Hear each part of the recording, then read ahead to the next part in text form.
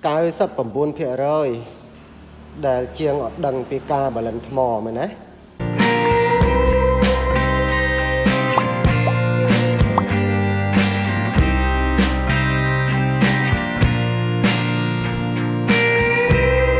បាទជំរាបសួរជំរាបសួរបងប្អូនបាទថ្ងៃនេះមកជួបជាមួយខ្ញុំពី Channel ខ្មែរ DIY សារជាថ្មីបងប្អូនថ្ងៃមុនខ្ញុំបាននិយាយថាវីដេអូមុនណាណាខ្ញុំបាននិយាយថា 99%ដែលជាងអត់ដឹងពីការបលិនថ្មមែនណាហ្នឹងហើយហើយវីដេអូនេះខ្ញុំមកបង្រៀនបលិនថ្មឲ្យត្រឹមត្រូវតែម្ដងកុំឲ្យច្រឡំកន្លែងណាហើយមានបងប្អូនយើងជាច្រើនបានសួរថាខ្ញុំអត់ធ្វើវីដេអូលម្អិតថាអញ្ចឹងណាហ្នឹងហើយជួនកាលខ្ញុំធ្វើវីដេអូទៅវាទៅប៉ះពាល់គេបាទហើយនឹងអ្នកលក់ថ្មលក់អីហ្នឹងគេអត់ចូលចិត្តឲ្យយើងមកបកស្រាយលម្អិតទេ បាទនិយាយអញ្ចឹងទៅខ្ញុំអត់និយាយប៉ះពាល់ទេណាហ្នឹងហើយហើយបើថាខ្ញុំអត់ធ្វើវីដេអូអត់ច្បាស់គេថាខ្ញុំហ្នឹងលាក់គំនិតបើថាខ្ញុំបង្ហាញអស់គេថាខ្ញុំហ្នឹងអួតបាទហ្នឹងហើយចង់និយាយចេះបងប្អូនចង់និយាយចេះថ្មវាមានច្រើនប្រភេទវាមានច្រើនប្រភេទណាហ្នឹងហើយហើយថ្មពួកនេះបាទប្រភេទ3.2 3.2ហ្នឹងហើយអានេះ3.2ដែរអានេះ3.2ដែរ តែអានេះ3.7ហើយថ្មនេះប្រភេទថ្ម3.7តែអញ្ចឹងការបលិនរបស់វាអត់ដូចគ្នាបងប្អូននឹងអត់ដូចគ្នាទេថ្មនេះភ្ញៀវផ្ញើមកឲ្យខ្ញុំឆែកបាទខ្ញុំមានច្រើនក្របបាទប្រភេទថ្មដែលថាគេតម្លើងប្រព័ន្ធអង្វតើប្រព័ន្ធអីហ្នឹងណាហ្នឹងហើយហើយហើមបាទហើមមកចង់និយាយថាការបលិនអត់ត្រឹមត្រូវណាហ្នឹងហើយខ្ញុំអត់ថាឲ្យគេទេហើយថ្មហ្នឹងភ្ញៀវគាត់ ខ្ញុំអត់ដឹងទេខ្ញុំអត់និយាយថាតើទិញពីណាមកគេប្រើបាន6ខែបងប្អូនប្រើបាន6ខែហ្នឹងហើយហើយសប្តាហ៍វាប៉ោងវាប៉ោងទៅបលែងកាន់ភ្លើង គឺការបលិនបាទបលិនវាណាបលិនគឺធ្វើឲ្យមុននឹងភ្ជាប់ BMS យើងត្រូវមានការសេអាភ្លើងចូលគ្នាឲ្យត្រឹមត្រូវហើយត្រូវមានឧបករណ៍តេស្តជំរឿខាងក្នុងពវៀនវាខាងក្នុងហ្នឹងយើងគ្រាន់តែវាស់វល់ទៅឃើញតែវល់ពេញទាំងអស់មែនទេ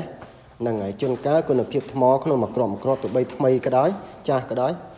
វាមានការផ្លត់ស្នៀតខាងក្នុងហ្នឹងហើយហើយចាំខ្ញុំមកនិយាយពីរឿង BMS នីមួយនីមួយហេតុអីបានរោងចក្រគេផលិតថ្ម គេរៀបថ្មមកប្រើបានយូរឆ្នាំថ្មពុនេះគេប្រាប់ថាស្ពេកវា ក្នុងមួយក្របមួយក្របតាមតម្លៃទៅបើថាល្អគេប្រាប់ថាអាយុការប្រើរបស់វាជាង10ឆ្នាំ6 10ឆ្នាំ17ឆ្នាំ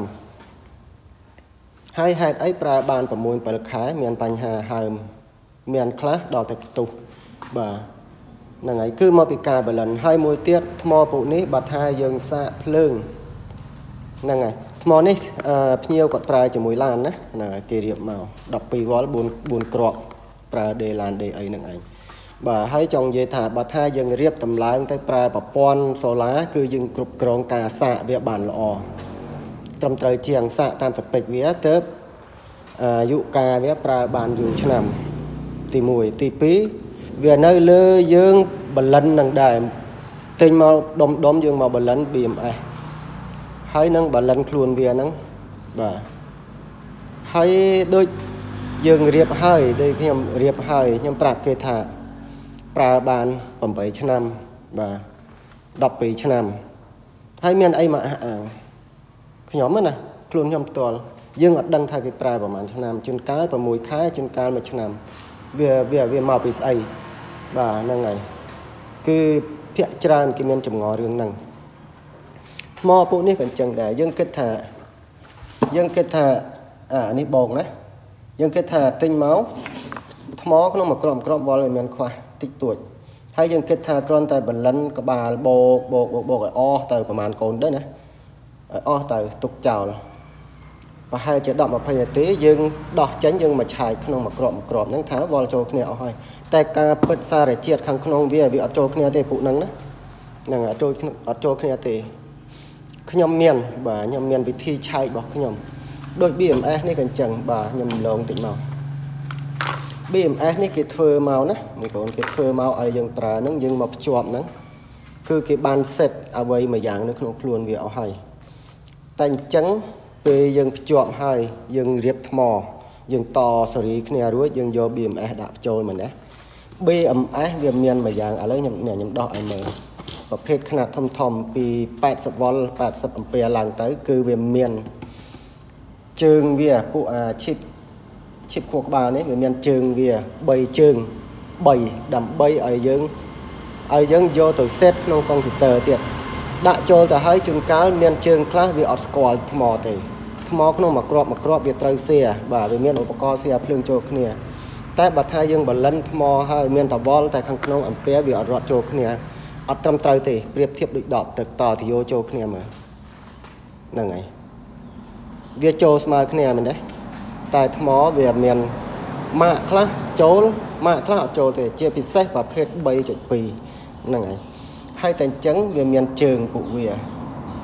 យើងតជើងណាជើងណាបោកជើងណាដកជើងណាបញ្ជាវាទៅកុំព្យូទ័រខ្ញុំមានខ្សែបងប្អូនខ្ញុំមានខ្សែច្រើនហ្នឹងហើយខ្ញុំមានខ្សែហ្នឹងហើយថតយកអត់បានទេតិចគេថាយើងអួតទៀតហ្នឹងហើយខ្សែខ្ញុំមានគ្រប់ប្រភេទបាទចង់ BMS ប្រភេទណាយើងទៅមើលចូលទៅមើលអឺពូនមានលំអិតពាក់ព័ន្ធពី BMS ហើយហេតុអីបានខ្ញុំហ៊ានមកនិយាយ គឺខ្ញុំទៅមើលរោងចក្រដែលគេរៀបថ្មនៅស្រុកចិនបាទបានគេប្រាប់ខ្ញុំមកហើយគេឲ្យ software ខ្ញុំទៀតគេប្រាប់ថា BMS គ្រាន់តែយើងយកមកភ្ជាប់ហើយយកទៅប្រើប្រសិទ្ធភាពបានតែ40ទៅ50%នឹងអស់ហើយហើយតែអញ្ចឹងការភ្ជាប់រួចគេមានវិធី set របស់វានៅក្នុងហើយគេអត់ដាក់គេអត់ដាក់ឲ្យយើងឲ្យយើងខាងក្រៅទេពោះរោងចក្រគេទុកឆ្នាំងបាយរបស់គេដែរតែអញ្ចឹង តែពេលរោងចក្ររៀបថ្មប្រើបានយូរឆ្ងល់ណាហ្នឹងហើយបើបងប្អូនមិនជឿទេបងប្អូន comment មកដែលបងប្អូនប្រើនឹងប្រហែលខែថ្មខូចហើយស្ពេកថ្មគេសេមកហើយគេសេមកអត់សូវកុហកយើងទេភាកច្រើនណាថ្មថ្មធំធំមកល្អល្អគេសេមកស្ពេកវាត្រូវណាហ្នឹងហើយត្រូវ10ឆ្នាំ20ឆ្នាំ5 10ឆ្នាំអីហ្នឹងគេសេមកត្រូវតែនៅលើយើងដែលថាបលិនបលិន BMS បលិនថ្មនឹងឯង ហ្នឹងហើយហើយខ្ញុំនឹងបង្រៀនឲ្យអស់ហើយបើតាខ្ញុំបង្រៀនបងប្អូនទៅ ជាសាធារណៈទៅ មានគេស្អប់ខ្ញុំបាទជួនកាលមានគេលួចឆាតមកថាឲ្យខ្ញុំ ទៅប្រាប់គេអស់យកអីរ៉ូស៊ីបាទតែខ្ញុំមនុស្សចូលចិត្តចែកម្លែកណាមកស្រែចម្ងល់បងប្អូន បាទមកស្រែចម្ងល់បងប្អូន វាជំរឿណាស់ណា BMS ហើយថ្ងៃមុនខ្ញុំតម្លើងថ្មប្រភេទថ្មធំធំថ្មសូឡាណាបាទនៅមានតម្លើងរហូត ជួនកាលយើងដំឡើងយើងដាក់ប្រព័ន្ធ app ប្រព័ន្ធអីក៏ដោយចូលទៅយើងឆែកក្នុង app ឆែកឆែកឃើញថាវល់វាប្រាប្រមាណក្នុងមួយកូនមួយកូនហើយបញ្ជាបានត្រឹមបិទហើយនឹងបើកកលែងភ្លើងបើកអំពែបិទអំពែតែប៉ុណ្្នឹងហ្នឹងហើយតែវាមានជំរឿទៀតដូចថ្ងៃមុនខ្ញុំសេតថ្មថ្មសូឡាទៅ5 6គ្រាប់ហ្នឹងគឺវាមានជំរឿក្នុងយើងគ្រាន់តែបើកពប់នៅមុខទី1វា5ប៉ុណ្ណឹងហើយវាមាន អឺអឺលេខកូដវាចូលទៅក្នុងទៀតដើម្បីឲ្យយើង set ឲ្យត្រឹមត្រូវគេហៅលាងវាសិនហ្នឹងហើយហៅលាងវាសិនតែអញ្ចឹងខ្ញុំចង់មកបង្ហាញបាទពាក់ព័ន្ធពីបលិនហើយអានេះដូចថ្មបាទអានេះយើងឃើញទូទៅណា power bank ក៏ដោយដាក់ MP3 ក៏ដោយនឹងមានຂະຫນាត់តូចຂະຫນាត់ធំថ្មឲ្យតែម៉ាក់តែមួយអានេះប្រភេទ3 3.7បងប្អូនហ្នឹងហើយអានេះវាមិនសូវកិច្ចកក់ប៉ុន្មានទេពោះភ្លើងវារវាងដែលថាវល់វាដើរហ្នឹងវារយាលជាងពួកអាប្រភេទ3.2 3.2ហ្នឹងវល់វាប្រើបានតែបន្តិចទេតែវានឹងនៅមួយកន្លែងថាអស់គឺវាអស់ហ្មងតែអញ្ចឹងការបលិនវល់របស់វាពោះវល់វាតិចមែនទេបលិនរបស់វាគឺមួយផ្លែតយើងដឹងថាវល់ស្មើគ្នាហើយតែវាត្រូវមានឧបករណ៍ឆែកគេហៅឆែកឆែក C C ចង់និយាយថា C ខាងក្នុងខ្លួនវាតើក្នុងមួយក្របមួយក្រប C វាឲ្យទៅលេខមកប្រមាណហ្នឹងហើយអញ្ចឹងបើថាអឺមានបងប្អូនយើងគាត់កំងថ្មកំងអីទៅតម្លើងកំងពីខ្ញុំណាទៅរៀបហើយខ្ញុំឲ្យឆាយថាភ្លើងវាស្មើគ្នាអត់ហើយភាកច្រើនគេយល់ថាមុននឹងរៀបសេរីចូលគ្នាគេឲ្យយើងខ្នែងបលិនភ្លើងឲ្យចូលគ្នាសិន តែសពេចថ្មគេប្រាប់ថាគុណភាពរាងរាងរាងទៀបបន្តិចមកគេប្រាប់ថា3ឆ្នាំ5ឆ្នាំអញ្ចឹងណាតែការពិតគេយកទៅប្រើថា2ខែចាប់ដើមកិច្ចកក់គឺប្រភេទនឹងឯងវាមានណាបងប្អូនវាមានវាមានជើងវាតូចតូចយើងត្រូវទៅបើកសិភៅម៉ាក DMS នីមួយនីមួយទៅដឹងថាជើងណាគេឲ្យតចូលដើម្បីសេតពុះពេលយើងរៀបរួចយើងចូលសេតក្នុងកុំព្យូទ័រសិន បាទហើយសេតហ្នឹងខ្សែខ្ញុំមានបាទប្រភេទសេតថ្មអីហ្នឹងហើយសេតថ្មអីខ្លះខ្ញុំមានខ្ញុំមានហើយ software ចិនគេឲ្យខ្ញុំមករោងចក្រផលិតថ្មពុះខ្ញុំចង់មកបើកសាខា នៅស្រុកខ្មែរតែអញ្ចឹងខ្ញុំបានតែមើលរោងចក្រគេគេឲ្យគេណែនាំគ្រប់យ៉ាងគេឲ្យ software គេឲ្យក្បួនមើល BMS ទាំងអស់ BMS ប្រភេទអី smart ឬក៏មិន smart វាមានទាំងអស់ហ្នឹងហើយ ចឹងមិនថាខ្ញុំនិយាយច្រើនទៅវាប៉ះពាល់គេហ្នឹងហើយហើយបើខ្ញុំអត់និយាយមានតិជនថាខ្ញុំនឹងធ្វើវីដេអូអត់អត់ច្បាស់កាត់កាត់ណាហ្នឹងហើយហើយបើថាខ្ញុំបង្ហាញអស់គេថាទៅប្រាប់គេអស់តែយើងអត់ដឹងថាជំរឿខាងក្នុង គេធ្វើមកមិនយើងអត់ដឹងទេ ជាពិសេសថ្មដាក់ឡាននេះពោះបើកាលណាយើងប្រើជាមួយឡានណាខ្ញុំអត់និយាយប៉ះពាល់អ្នកណាទេណាអត់ប៉ះពាល់ទេ ហើយខ្ញុំមានជំនាញខ្ញុំមានការដកពិសោធន៍ជាមួយថ្មនេះ8ឆ្នាំ តាំងពីថ្មនេះគេចាប់ដើមស្គាល់ដំបូងដំបូងពួកខ្ញុំនៅស្រុកគេមានអីប្លែកប្លែកគេចែកម្លែកគ្នាណាគេចែកម្លែកគេសៀប្រាប់គ្នាហ្មងគេឲ្យតន់គ្នាពួកស្រុកគេណាគេឲ្យប្រជាជនគេដឹងតន់រឿងតន់ហេតុការតែអញ្ចឹងខ្ញុំនៅក្នុងជំរំហ្នឹងខ្ញុំនឹងមានឱកាសរៀនសិក្សាជាមួយគេបាន ហ្នឹងហើយ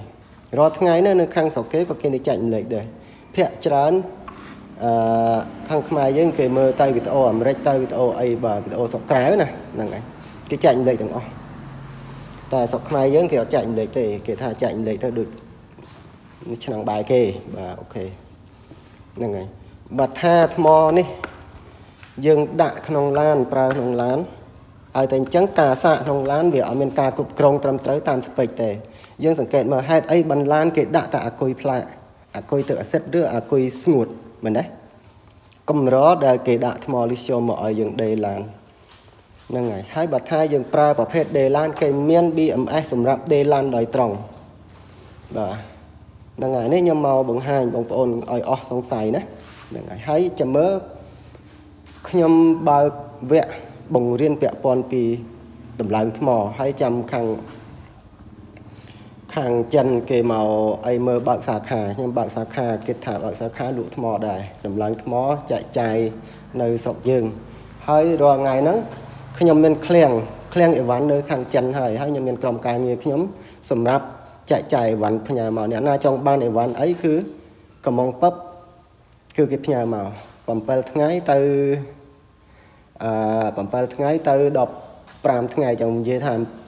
កន្លះខែចុះហ្នឹងហើយ ផ្ញើមកចង់បានស្អីគឺបានទាំងអស់ហ្នឹងហើយពោះកន្លែងកន្លែងជំរុំអីវ៉ាន់ហើយអីវ៉ាន់សប្ថ្ងៃហ្នឹង99%ហ្នឹងគឺមកពីចិនណាបងប្អូនហ្នឹងហើយចិនបកែណាធ្វើអីក៏គេធ្វើបានដែរបាទខ្ញុំមានឃ្លៀងអីវ៉ាន់បាទនៅខាងចិនចង់តាក់តងអីទិញអីបានទាំងអស់ថ្ងៃមុនហ្នឹងផ្ញើម៉ាស៊ីនកាត់ដែកម៉ាស៊ីនច្រាប់ដែក700ជាងគីឡូហ្នឹងហើយកន្លះខែមកដល់ឲ្យបងនៅខាងតាខ្មៅបាទ ហើយចាំទំនេរទំនេរខ្ញុំទៅឆែកមើលម៉ាស៊ីនគាត់ពោះខ្ញុំអត់ទាន់បានឃើញដែរកំងទៅឲ្យគេទម្លាក់ទៅកន្លែងបងហ្មងហើយខ្ញុំនឹងឆ្លៀតឱកាសចូលទៅឆែកប្រព័ន្ធអង្វតើដែលថាតម្លើងឲ្យគាត់អីហ្នឹងបាទចាំមើលទំនេរខ្ញុំឡើងទៅហ្នឹងហើយ